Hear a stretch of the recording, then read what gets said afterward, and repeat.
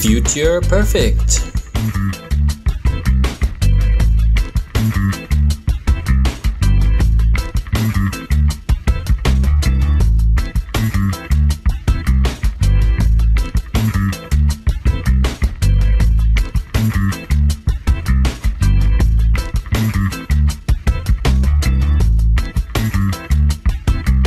Finished actions before one moment in the future.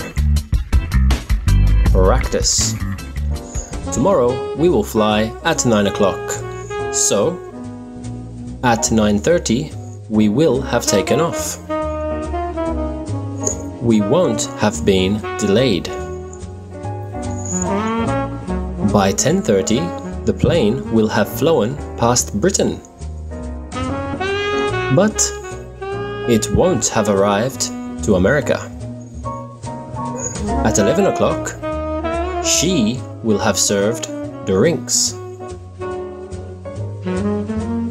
She won't have served lunch. At 1 o'clock, I will have met a passenger. But I won't have met the pilot. By 3 o'clock, you will have felt turbulence. You won't have enjoyed that. By 5 o'clock, they will have slept a little.